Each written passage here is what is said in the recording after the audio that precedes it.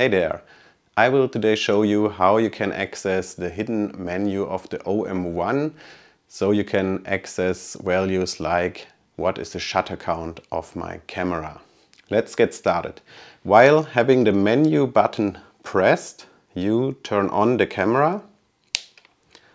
Then you can release the menu button and then you have to press it again to access the menu.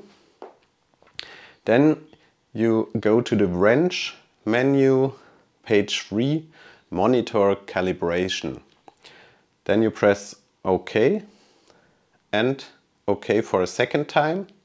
And now you see a black screen and some values. You have OM system, OM1 and some numbers.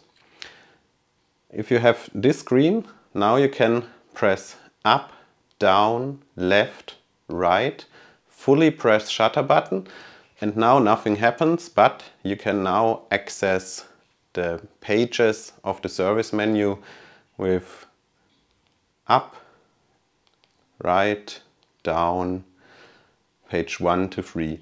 And the interesting page is page 2. Here you have mechanical actuations of the shutter and how often did you turn the camera on.